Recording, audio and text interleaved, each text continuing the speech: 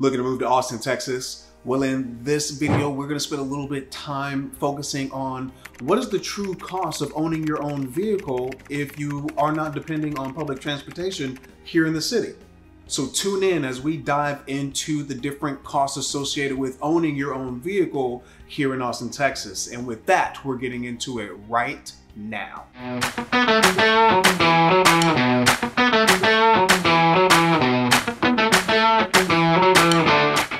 Before we dive in, if this is your first time visiting the channel and you want to know everything there is to know about moving to Austin, Texas and surrounding areas, then subscribe below and tap that bell for notifications so you can be the first to know about the current market in Austin, Texas. I'm Marcus Jordan with the Premises Place Group, brokered by eXp Realty, and we hear from people just like you looking for help with their move to Austin, Texas and surrounding areas. We love hearing from you, so whether you're looking to move into an apartment, buy a home, or invest, all of our contact information is in the details below. If you're looking to move in five days or 45 days, give us a call, shoot us a text, send us an email, or even schedule a Zoom call so we can help you make a smooth move to Austin, Texas. So, cost of living, focused on transportation. Uh, the reason why we wanted to do this quick little video is because when you when we mention cost of living in, in other videos, there are so many elements that uh, make up what is cost of living, right? So we wanted to just take one little piece and focus on it because the, a lot of conversations are around public transportation or how do I need a car when I get around? If you're coming from somewhere else, if you're already here, then you're very familiar with the transportation situation. But if you're thinking, well, should I get a new car? Should I not? Is now the time to get a new car or isn't? Should I wait? Hopefully this video will be helpful in helping you make that decision. So if you're moving from somewhere else, I hope this is insightful. If you're already here, but you're debating on if you should get a vehicle or not, I hope this is also insightful for you. So we're gonna start this off with a couple of quotes from different articles that we were reading just to kind of set the tone. The first one we wanna highlight actually comes from Carfax. They put out a used car index uh, report every now and again. And the latest one we were able to find states, while prices have dropped this month, they remain high compared to long-term trends. Many factors are contributing to this. Continued slow rebuilding of new car inventory, high prices on the new cars that can be found, ongoing microchip shortages, and interest rates that are higher than they were a year ago right? So that's Carfax used car index that we are pulling that information from. Another highlight comes from Consumer Reports. And it says, prices have finally begun to soften after a historic used car price spike throughout much of 2021, but they remain higher than at any time before 2020. So you are seeing prices come down but it's still high relative to what they were before the pandemic. And then lastly, another highlight, we're gonna bring this from Kelley Blue Book, and they state that figure is still historically low. And in this particular case, they're talking about inventory, the available inventory of used cars. Automakers built about 8 million fewer cars during the pandemic, used car inventories could remain low for years as those cars never find their way to the used market, keeping prices higher than Americans had grown accustomed to. And that is pulling from Kelley Blue Book's article from this June, a couple months ago. So why do we start that off there? Because I think we all know and we've all seen each one of these highlights that have been mentioned. So let's get into, well, why are we talking about used cars? What about new cars, Marcus? At the time of this filming, we were only able to find national averages around new cars and those prices. That doesn't necessarily help you if you're in Austin or moving to Austin. So we'll have to come back and give you an update on new cars a little bit later.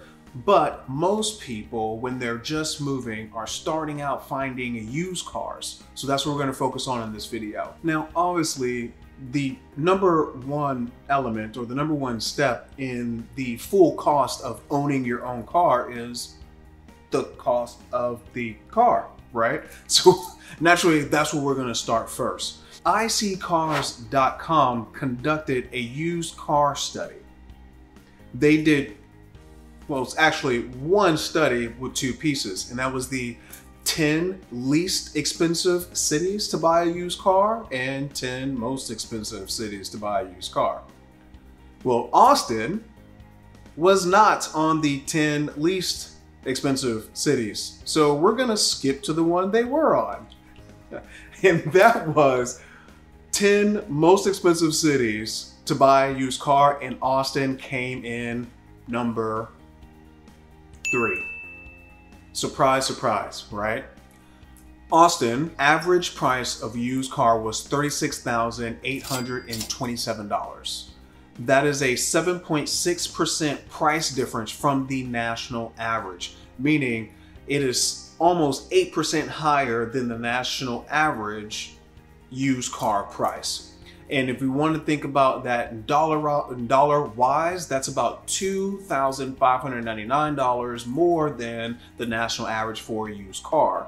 So if you are coming from a different state, if you're coming from a different place, different country, please prepare to know that you're going to pay a little bit more of a premium when buying or purchasing a used vehicle in Austin, Texas. Now, that is an average, right? So that does not mean that every car lot or every car you see is going to be priced at that price point. So the one thing to keep in consideration is one, the type of car you're looking for, right? And then two is how much inventory does the dealer have of the car that you're looking for? If they have a lot of inventory, you might have a better a better chance of finding a car, a used car at a lower price point. But if they only have one or two or can't get access to additional vehicles or additional used car inventory from other locations that they may be connected or aligned or associated with, then you may pay a little bit more. So please know that those two factors are going to play a major, major role in your purchase of a new, excuse me, of a well, I guess it will be a new used car for you. It will be new to you, but it'll be a used car, right? Just don't want to tangle that up there. And so keep those factors in mind. What car are you looking for? How much inventory does the dealer or someone have of that vehicle? And that will influence uh, the price point for that used car. The other element of the true cost of owning your own car is gas. Duh, we all know that. However, what does gas look like here in Austin? Well, that is going to vary depending on the areas that you're getting gas, uh, the street, the road, how busy is that intersection? Is it near a neighborhood, near a highway? You know how gas works. So, but we have a couple of shots here in the video just so that you can see where they are at the time of this recording. And we're looking, and we are in September of 2023. So obviously this these prices are going to change based on what oil is going to be. So by the time you're seeing this, it could be higher or lower, but depending on when you're seeing this, let's be honest, it's probably going to be a little bit higher, right? So plan and budget accordingly. Hopefully the numbers that we're seeing right here allows you to at least have a benchmark or at least just an entry point to help you work through your gas uh, budget based on how much you have to drive and where you have to go and how often. The other element of the true cost of owning a vehicle is going to be maintenance and repairs, right? So since we're looking at getting a used vehicle, it might need some work. If not now, maybe a little bit later, right? So depending on how much you're going to be on the road, how much wear and tear uh, that you're going to apply to your vehicle, count for maintenance and repair, right? Your tune-ups, your, your oil changes, hopefully nothing bigger. I won't say any bigger repairs right now because I don't want to jinx the whole thing. But make sure you know that the number of maintenance and, and repairs is going to be based on the vehicle you get, how old the vehicle is, how much mileage uh, is on the vehicle. So do account for that in your budgeting The next element we want to go to is registration, fees, and taxes. Registration is once a year, but hey, it's still a cost, right? If you're not, I mean, in my mind, you're not buying a a new uh, a new used vehicle to turn around and get rid of it in six months, or maybe you are. I don't know, but most individuals I speak with are keeping their vehicles for a little while. So if you're going to keep your car for, excuse me, or your, your vehicle, because you may have a car or SUV, truck, whatever you're into, or a hybrid of all of the above, you're going to have that registration fee and tax breakdown every single year. So if you think that you're going to hold on for this used car for 10 years, account for having to pay that 10 times. Now, here's the thing registration, taxes, and fees do change over time. It's going to be based on your type of vehicle, how big or heavy is the vehicle. So know that what you pay for registration, taxes, and fees may be a little bit different than anyone else based on the vehicle that you have. I know I'm telling you things that you probably already know, but the intent of mentioning it now is that if you're keeping a list or you're you're uh, trying to keep tabs, you're having it all in one place. Okay, so not telling you anything new. Let's go to the next one. The next piece of owning a vehicle is insurance. Everyone loves paying that insurance premium, right? but specifically in Austin, Austin is growing, okay? Duh. But based on the area that you're moving to or that the vehicle will be housed or where it will be parked, that will influence your insurance rate because it's going to be based on a variety of factors. Some of those variables are going to be credit history, driving record, the type of vehicle that's being insured, your marital status, uh, a lot of variables, right? But going back to what we were saying as far as where the car is going to be parked, please note that your insurance quotes and premiums are hyper local. What do I mean by that? Just because you move to Austin, Austin does not have a blanket insurance quote or premium rate, right? if you hyper local, meaning very, very local, right? Local, locale. If you're living in one zip code, you're typically going to have a different insurance quote than another zip code. A lot of ways that you can differentiate what that's going to look like is how dense is that area? Are there a lot of people in that in that zip code? Are there a lot of things, um, you know, things to do? Um, what what is the crime rate in that area, right?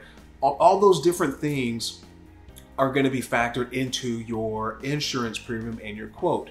So ensure you account for that when you're planning for insurance or changing insurance. Now, when you're looking at insurance in Austin, it's just like the used car. It is a little bit of a premium in comparison to the national average. Referencing an article from Market Watch, they share in Austin, Texas, the average cost of minimum coverage car insurance is about 17% higher than the natural, national average. Okay. Similarly, full coverage car insurance is about 9% more expensive than the national average. So if you are looking to move to Austin and you're looking at the national average, you're about 10 to right under 20% more here in Austin based on the coverage that you get. If you're currently living in Austin and you're thinking, hey, it's about time for me to get a new vehicle or want to upgrade, understand that that insurance premium may be a little bit more than what you probably have been having or what you're probably used to. So account for that in your budget think about that when you are making that move or making that purchase. That insurance rate is typically a bit higher than the national average. So I want to share that so that you can have that and add that to your budget as well. So to tie it all up, when we're thinking about the true cost of living for your transportation, your personal vehicle, we touched on the cost of the personal vehicle, the, the, the gas to get around with your in your vehicle, maintenance and repairs, registration, fees, taxes, And then lastly, we touched on insurance, right? So a short video, I probably didn't tell you anything that you didn't already know in the back of your mind, but hopefully I shared something that you were like, oh yeah, I do need to account for that. So you can write that down. Hopefully some of the stats and some of the figures also allows you to be prepared for um, what you're going to get into or to plan your budget if it's something that you're thinking about doing down the line, right? So I hope this has been a little bit helpful. And honestly, it's I know it's easier easier to hear and and most people can think through this relatively easy enough. But if you're the type of person who wants to see, you know, numbers and figures and you want to play with different amounts and numbers, then also in this video, we've included a cost of living calculator so that you can also play with the different figures from where you are to perhaps moving here to Austin or to another city in Texas. And that should be in the description below uh, so that you're able to access that. It's free to use. So I hope that's a help. We've also included a monthly car cost calculator by our friends over at nerdwallet.com. So if you wanted to calculate things or play with things, uh, figures and numbers just for car costs, that's also in the description below. So just kind of tie that up with a bow, we have two free calculators in the description. You have one that's focused strictly on transportation and another one just all costs of living elements included. So you're able to kind of see uh, where your dollar gets you when moving from one place to the other. So I hope that's helpful uh, as well.